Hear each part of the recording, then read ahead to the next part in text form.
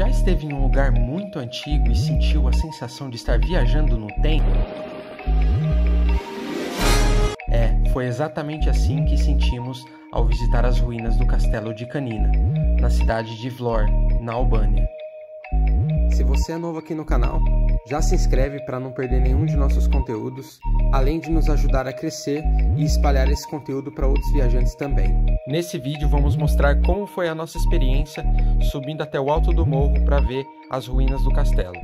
Tudo começou logo que chegamos na Albânia. Ouvimos falar das ruínas do castelo e, num dia de folga, no meio da tarde, decidimos fazer uma caminhada até o alto do morro e ver qual é que é desse pico histórico. Agora são 4 horas da tarde. Nós estamos.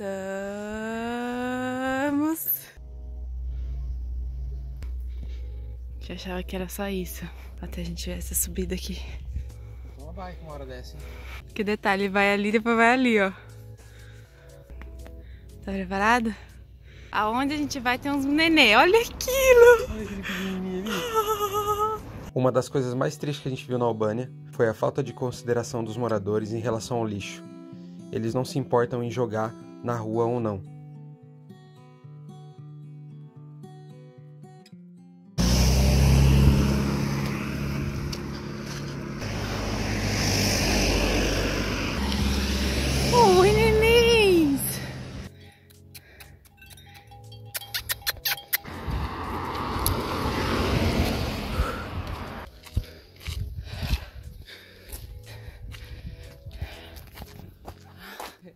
Só tá filmando você acabado, né? Agora é minha vez.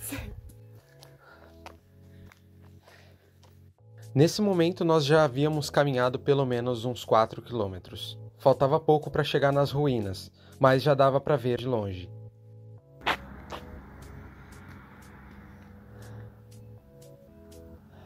E quanto mais a gente subia, mais alto dava para ver toda a costa da Albânia. Chegamos e quase lá no castelo. E aqui Olha o que encontramos. Uma mesquita linda.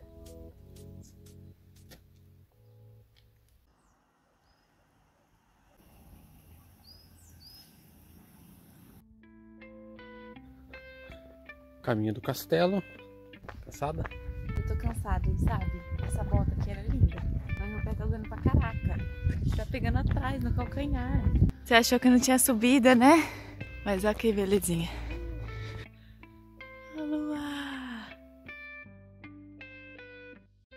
E depois de 6 quilômetros de caminhada, enfim, chegamos.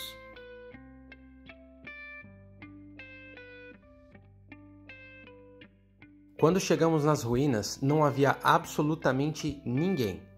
Ninguém na portaria, nenhum turista, ninguém. Para não dizer que não havia nenhuma pessoa lá, encontramos apenas um pastor caminhando com algumas dezenas de cabras.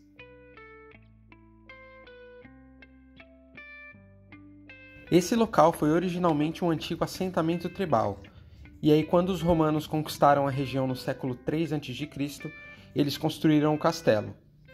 Cem anos depois, o castelo foi transformado em uma cidade-fortaleza para servir de posto militar para o Império Romano.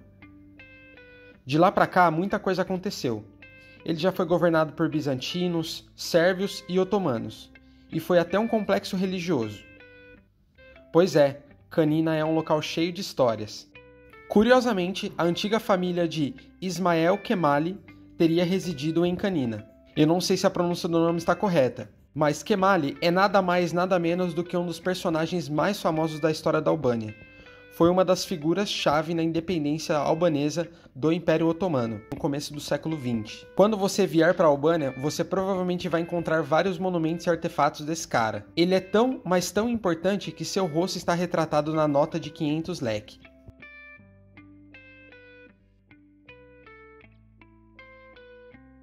E aí, como foi chegar aqui em cima no castelo? Canina. O caminho é uma subida, assim, bem cansativa. Ainda mais porque a gente tá acostumado nos outros países que a gente foi, os, os caminhos sempre eram mais planos. E aqui não, aqui é montanha, então sempre tem uma subida. O caminho é bem bonito, tem bastante oliveiras, mas tem bastante sujeira também, a gente precisa ser sincero.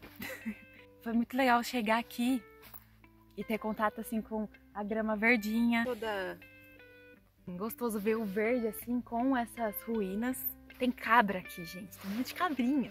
É tão fofinho. E a vista, assim, é incrível. É todas as montanhas, assim, no horizonte, ver o sol. E a melhor coisa, assim, de você viajar e você ver um lugar, assim, tão lindo. Vale a pena.